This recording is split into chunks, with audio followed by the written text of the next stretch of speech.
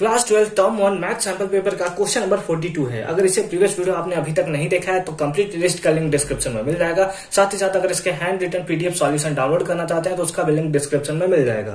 For which value of M is the line Y equals to M X plus one और tangent to the curve Y square equals to four X है ना? यहाँ पे हमें इस type से दिया हुआ है। तो हमें बताना है for which value of M यानी कि एम का वैल्यू हमें यहाँ पे सिंपली बताना है। तो ये लाइन है हमारा, है ना? ये लाइन है और ये हमारा क्या है? ये हमारा यहाँ पे देखने को मिल रहा है। हमें लाइन का इक्वेशन दिया हुआ है और एक हमें कर्व दिया है Y Y square equals to four X तो आइए कर्व डाउनलोड करें। डाउनलोड करें, मैं बोल रहा हूँ ड्रॉ करें। ठीक है? ये देखिए आपका। ये क्या होगा? एक्स एक्सिस ये होगा एक्स डैश एक्सिस ये होगा y एक्सिस ये होगा negative y that is y dash अब हमें दिया है y square equal to four X यानी कि y के निगेटिव और पॉजिटिव वैल्यू दोनों हम लोग का क्या होगा? यहाँ पे इस टाइप से हमें देखने को मिलेगा। इस टाइप से ग्राफ हमें देखने को मिलेगा। इस टाइप से ग्राफ देखने को मिलेगा Y square equal to four X का।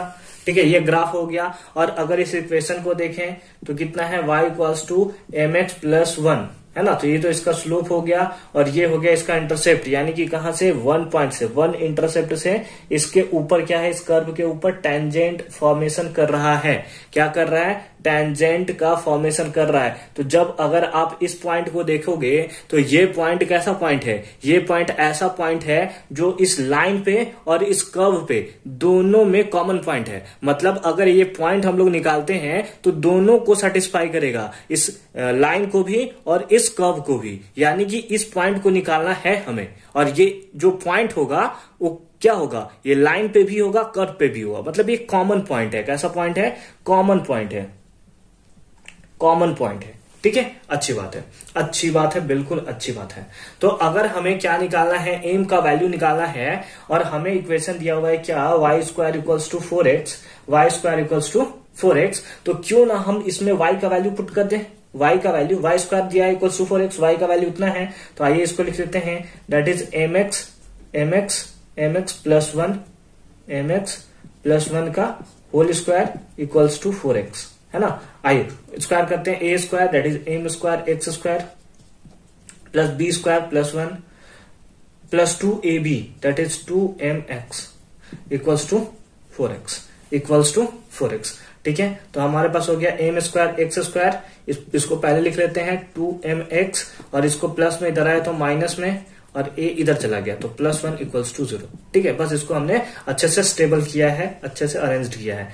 M square X square plus X X दोनों के पास एक्स कॉमन ले रहे हैं तो क्या होगा? Two M minus four into X plus one equals to zero equals to zero अब यहाँ पे आपको क्वाड्रेटिक इक्वेशन देखने को मिल रहा है। तो एक क्वाड्रेटिक इक्वेशन कैसा होगा? जिसका इक्वल रूट होगा। नहीं समझ में आया? सर इक्वल रूट कैसे होगा? तो देखिए इक्वल रूट इस तरह से होगा क्योंकि हमने देखा एक कॉमन पॉइंट है। यानी कि जो हम लोग जीरोज निकालेंगे, वो इसके लिए भी और इसके लिए भी सेम होगा। यानी कि यहाँ पे आप डिस्क्रिमिनांट के बारे में क्या बोल सकते हो? यहाँ पे आप डिस्क्रिमिनांट के बारे में क्या बोल सकते हो? कि यहाँ पे यहाँ पे अगर आप d निकालोगे, वो इक्वल्स टू ज़ीरो आएगा क्लास टेंथ में आपने पढ़ रखा है ना इलेवंथ में भी आपने पढ़ रखा है। D का फॉर्मूला क्या होता है? That is B square minus four A C equals to zero discriminant इसी में आता है ना। जब डिस्क्रिमिनांट हम लोग का इक्वल्स टू ज़ीरो देखने को मिलता है, तब इक्वल रूट्स हमें देखने को मिलता है। B का वैल्यू कितना है? पुट कर दीजिए।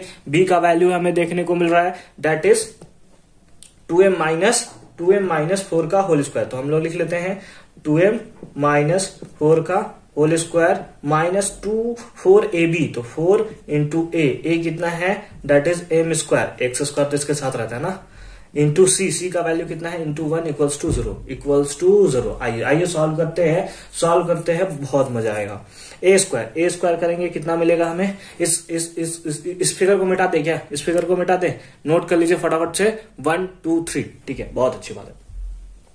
अब फिगर हमें, हमने जो, जितना भी कॉन्सेप्ट था, समझ लिया। आइए फॉर्मूला पुट करते हैं। A square that is four M square plus B square that is sixteen minus two A B तो फोर टू जा एट टू जा sixteen sixteen M plus sorry minus minus minus कितना हो जाएगा? कितना हो जाएगा? Four four into M square that is four M square equals to zero four M square four M square cancel हो गया तो हमारे पास क्या आया? माइनस सिक्सटीन एम प्लस में इधर गया तो माइनस सिक्सटीन माइनस से माइनस सिक्सटीन वन जा सिक्सटीन यानी एम का वैल्यू कितना आया? वन एम का वैल्यू कितना आया? One option number B is the right answer बोले, कोई इशू है, कोई इशू है क्वेश्चन में? आई होप कि क्वेश्चन भी आपको अच्छे से और क्लियरली समझ में आया होगा। अगर किसी टाइप्स का कोई भी कंफ्यूजन होता है तो आप हमें कमेंट सेक्शन में ज़रूर बताएँगे। मिलते हैं नेक्स्ट वीडियो में क्वेश्चन नंबर 43 के साथ।